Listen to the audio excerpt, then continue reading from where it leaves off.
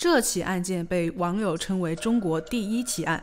案件的曲折离奇程度，恐怕就连脑洞大开的编剧也写不出。凶手甚至还差一点就完成了一次完美犯罪。警方能够破案的关键，竟然是凶手自己说漏了嘴。欢迎回到迷雾调查组，我是调调，让我们一起拨开迷雾，寻找真相。二零一零年七月十三日，警方接到报案。山东省商河县孙集乡的村民在一口机井内发现了一全裸男尸。经调查，死者身高一百八十三公分，体重九十公斤，年龄在三十岁到四十岁之间，推测死亡时间三个月到一年之前。死因是被钝器重力打击头部。尸体被发现时已经高度腐烂，从面部无法辨认死者身份。案发现场位于孙集乡三个村子的交界处。离村民们住的地方较远，平时很少有人经过。井口很窄，死者是头朝下塞进井里的。现场的唯一物证是警方在井底发现的一把斧头。经过调查，斧子上没有任何指纹和血迹。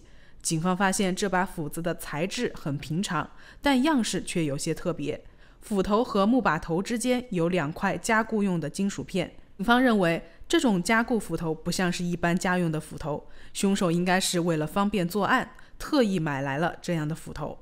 在调查了商河县所有的五金店之后，警方找到了唯一一家售卖这把斧子的商店。五金店老板表示，这种斧头一共进了八十把，目前卖出了十三把，已经记不清都卖给谁了。但他还记得进货时间是二零零九年十二月底。另一组警员走访调查时得知，二零一零年一月二十八日，有村民曾见过机井旁有暗红的血迹。结合以上两个线索，警方认为死者的死亡时间很有可能是在二零一零年的一月份。随后，警方开始从案发现场周边的村子查找失踪的村民。五天之后，发现了十七个失踪人员，但死者并不在这十七个人当中。警方逐步扩大搜查范围。然而，即使是查了全国失踪人口登记库，也没有找到这个人的信息。无法确定尸源的情况下，警方转换了调查思路，开始排查犯罪嫌疑人。虽然之前发现的失踪的十七人里没有死者，但其中一个名叫王熙元的人失踪的时间与死者的死亡时间非常接近。王熙元离异单身，身高一百六十五公分，身材瘦小。失踪前欠了银行一百多万的贷款。警方在调查时还发现了一件可疑的事情：王熙元曾把刚买回来半年的小汽车送去汽修厂整车喷漆，且王失踪后车子一直放在汽修厂。通过对车子的仔细检查，警方在后备箱备胎的一片树叶上发现了一点血迹。经过 DNA 检测，这正是死者的血迹。警方由此判断王熙元有重大作案嫌疑。并对他展开了细致的调查。警方经过调查后发现，王熙元在一月份与两个天津市的手机号码联系比较密切，但一月二十四号之后，一个号码不再出现，另一个手机号则是呈关机状态。警方在查询了手机号实名信息后，确定了这两个天津人的身份，他们分别是韩本利和韩宝山。韩本利身高一百八十三公分，三十二岁。二零一零年一月，和老乡韩宝山外出打工，最近半年处于失联状态中，这与死者的信息高度吻合。DNA 鉴定结果证明，死者正是失踪的韩本利。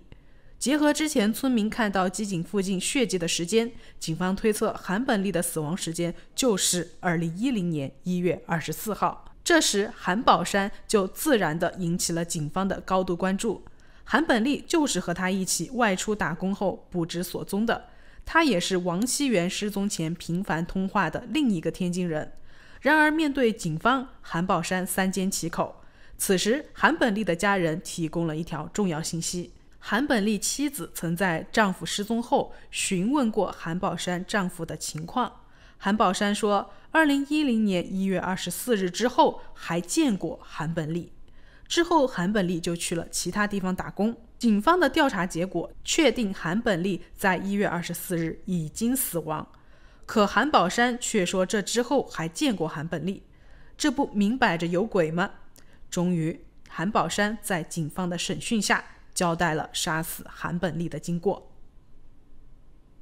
原来，在二零零九年九月，有人出十四万块钱请韩宝山和韩本利去杀一个人。这个买凶者正是失踪的王熙元，他想要杀害的是一个同乡名叫张本岭的人。韩本利和韩宝山来到商河县后，策划了多起杀人计划，包括制造车祸。在张本岭车上安装定时炸弹装置等等，但都没有成功。三次暗杀不成，王熙元气急败坏地通知韩宝山和韩本利收手，让他们赶紧回天津。可这两个杀手却不干了，他们来到商河半年，吃喝拉撒，把钱早已经是花的精光。就这样回去，手上也没有一分钱，这不白白浪费了半年时间吗？于是他们向王熙元要钱，威胁他说：“如果不给钱，就只好报警了，大家一同完蛋。”这买凶杀人的王熙元也不是个善茬，他抓住了这两杀手头脑简单且贪财的弱点，想要策反两人起内讧，让他们自相残杀。王熙元先是经常在韩本利面前说韩宝山太贪婪，为了多贪钱，连朋友都伤害，让他小心提防，并给了他一把手枪防身。而后又在韩宝山面前说：“我已经花了十四万了，再拿出一些钱也没啥问题。但韩本利这个人不可靠，我怕他会说漏嘴。如果把他杀了，你不仅一人独占佣金，也会更安全。”经王熙元这么一挑拨，两个愚蠢的杀手果真是都上当了。二零一零年一月二十四日，两个杀手拿着买来的加固斧头和炸药去暗杀张本岭，但这次。又又又又又失败了。这种情况下，心怀鬼胎的二人就这样上演起了自相残杀的戏码。趁着夜色，韩本利掏出王熙元送给他的那把手枪，向韩宝山扣动了扳机，结果手枪卡壳了。韩宝山见状无比愤怒，挥起随手携带的斧头将韩本利砍死。随后，他叫来了王熙元，和他一起将韩本利的尸体运到了农田机井里。抛尸灭迹。至此，案件真相已经水落石出，警方也开始全力搜捕嫌犯王熙元。当地村民告诉警方，王熙元失踪后曾给村民们发过短信，说自己要到外面躲几年后再回来，让大家不用担心。但无论是走访王在本地的亲友邻居，还是调查他在外地的亲戚，都没有找到任何线索。王熙元就像是掉进大海的一滴水。消失的无影无踪。一晃两年时间过去了，王熙然依然没有被抓捕归案。警方发现，这两年间，无论是王的身份信息，还是他的银行账户，都没有任何使用过的痕迹。为了寻找到可能被遗漏的线索，早日将王熙元抓捕归案，警方再一次深入基层进行排查。这一次，那条躲债的短信重新引起了他们的注意。王熙元在群发的短信中对村民们一律称呼兄弟，但实际上村里有不少叔叔爷爷辈的人，村民们对辈分的称呼也是相当在意。从小在这里长大的王熙元不可能不知道这件事，所以这条短信大概率不是王本人发出的。结合之前获得的各种线索，警方认为王熙元可能已经遇害。至于杀害他的凶手，一开始。警方怀疑是韩宝山记恨王熙元，挑拨他和韩本利的关系，才对他痛下杀手。但在调查后，他们发现韩宝山在杀死韩本利后就离开了山东，再没有回来。经过不断走访，警方从当地村民那里了解到，他们最后一次见王熙元是在一个大雾且下着雪的天气。当地气象局的工作人员告诉警方，既有雾又有雪的天气在这里很罕见。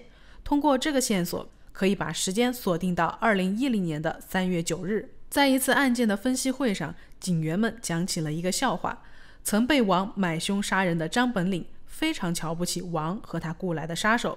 他表示，如果是自己，才不会把尸体扔到那种地方，肯定是直接烧掉。但一名叫董磊的警察却没有把这句话当做一个玩笑，他怀疑张可能是一不小心说了实话。因为张本身正是殡仪服务从业人员，虽然张本岭拒不承认三月九日见过王熙元，但几乎每天都要出入殡仪馆火化尸体的他，还是非常可疑。因为正常死亡的人不需要经过警方，只要村委会出具火化证明，就可以送到殡仪馆火化。心中有所怀疑的警方立刻调查了殡仪馆的火化记录，然而在三月九日，张本岭并没有来过这儿。不仅如此，前后十天的火化记录经查证都是真实的。值得注意的是，按照当地的规定，如果张手中持有火化证明，那么他在其他地方的火葬场进行火化尸体也是可以的。如果不是在这儿火化，会不会是在别的地方呢？就这样，警方又抽调了周边四五个县市，最后发现张在三月九日这天和随后的这几天，在当地和其他外县几个殡仪馆一共火化五个人。张在每个殡仪馆都留有死亡证明，这些证明都是真实的，手续也是完备的，看似一切情况都正常。但警方并没有轻易放下对张的怀疑，他们调查了2010年3月9日之前的几年所有张本岭火化过的人。经过仔细的查找，警方发现2008年12月，张曾在这里火化过邻县的一位姓丁的老人。而这个人的名字在外县一家殡仪馆2010年3月9日的火化记录上也出现过。当时运送尸体的正是张本岭本人。与此同时，张本岭的妻子张红霞又向警方提供了一个可疑的细节。张红霞说：“我发现我家椅子上的坐垫都没了。”于是就问张本岭：“垫子呢？”他说：“垫子都脏了，扔了。垫子是我亲自一针一针绣的，绣的比较好。”一般情况下不会舍得扔掉。听完了张红霞的证词，警方立即赶往了张本岭的家中取证。果然，在那张椅子的坐垫后面，法医发现了一个黑色的圆点。法医认为这不是普通的圆点，而是凝固的血迹。血迹时间长了，凝固以后就会变成黑色。经过 DNA 鉴定，张本岭家里椅子上提取的这个血迹就是王熙元的。至此，基本可以确定王熙元已经死了，死亡时间在两年半前，铁证如山。张本岭此时终于承认是自己杀了王熙元，并焚尸灭迹。为什么张本岭的妻子会出卖他，告诉警方这一关键信息呢？咱们接着往下讲。张本岭一九六九年出生于山东商河县孙集乡，在当地开店做殡葬生意。头脑灵活又高大帅气，和第一任妻子育有一个女儿。不久后，妻子因病去世，就只剩下父女俩相依为命。一九九九年，张本岭和小两岁的本地姑娘张红霞结婚了。刚开始，夫妻生活非常幸福美满，但随着儿子的降生，再加上再婚家庭和妓女的矛盾，两人经常吵得面红耳赤。张本岭和王熙元是同一个镇的人。王熙元在当地做养殖生意，两人都是生意场上混的。再加上张本岭的妻子是王熙元的姐姐，所以两家人走得比较近。张红霞一和丈夫吵架，就跑到王熙元家哭诉。一开始是希望能让王熙元劝一劝丈夫张本岭，但久而久之，委屈失意的张红霞越来越发现王熙元非常体贴、善解人意。跟丈夫一次次争吵后的失望，让她渐渐把感情的天平倾向了王熙元。王熙元正好处于婚姻的疲惫期，很快就被风韵犹存的张红霞吸引了，两人一拍即合，发展成了情人关系。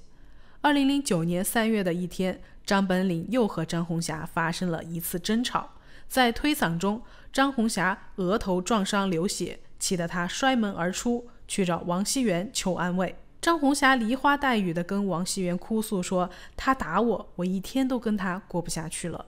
你得救我，不然我早晚有一天会死在他的手上。”于是两人商量除掉张本岭。他们想到张本岭身材高大、彪悍体壮，不好对付，最后决定雇凶杀人。二零零九年三月十三日。王熙元特意赶到天津，找到张红霞的弟弟张阿祥，添油加醋地说他姐夫经常欺负姐姐。年轻气盛的张阿祥听得火冒三丈，当即表示要替姐姐出气。王熙元趁机鼓动：“只有除掉你姐夫，家产就都是你姐姐的了，你姐姐以后也不会再挨打了。”最后，王熙元和张红霞姐弟商量一致，王熙元出钱雇凶，张阿祥找凶手。张红霞负责提供张本岭的行踪轨迹，分工合作杀死张本岭。张阿祥在天津开饭店，人脉较广，很快他就物色到了两个铁哥们儿韩宝山和韩本利，至此买凶杀人行动开始了。但是在杀手们一次次失败后，张红霞和王熙元准备收手不干了，没想到却反过来被杀手勒索了一番。于是之后就发生了王熙元出手，让杀手们自相残杀的一幕。二零一零年一月二十四日，韩本利被韩宝山用斧头砍死，然后被张红霞、王熙元以及韩宝山抛尸机井。张红霞事后非常害怕，换了电话号码，悄悄跑到上海躲了起来。二零一零年二月三日，张本岭为了找到妻子，来到移动公司，调出了妻子三个月来的通话记录，结果发现妻子与王熙元竟然有七百多次通话。而最后一次通话是二零一零年一月二十七日，即妻子离家出走的第二天。他判断妻子跟王熙元肯定有见不得人的勾当，或者至少王熙元知道妻子的下落。二零一零年三月九日，张本岭把王熙元约到了家里，将他和妻子的事情挑明，但王熙元拒不承认。两人由言语冲突上升为肢体冲突。张在同伙李文熙的帮助下，用木棍打死了王。由于沙发垫沾染了大量血迹，他就把垫子和尸体一起放入了殡仪馆使用的尸体袋，并且谎称死亡证明丢失需要补办，开出了一个空白证明，以临县老人的名义在外地一家殡仪馆火化了王的尸体。并用王熙元手机向亲友发送短信，营造出外出躲债的假象。历时两年多，山河警方终于成功破获了这起罕见的连环杀人案。案件侦破后，相关部门加强了开具死亡证明和死者火化的身份核对工作，以确保不会再发生类似的案件。二零一四年四月，张本岭被判无期徒刑，同案犯李文熙被判九年有期徒刑。韩宝山被判死缓，张红霞被判十一年有期徒刑。王熙元亲属向张本岭索赔三十万精神损失费，最终只得到了两万元赔偿。这起连环杀人案中案，涉案人员高达八人，且全员恶人。不管是买凶杀人反被杀的王熙元，还是得意忘形的张本岭，都真真是应验了一句话：机关算尽太聪明，反误了卿卿性命。今天的案件分享就是这样，欢迎各位留下你们的精彩评论。这里是迷雾调查组，我是调调，我们下期见。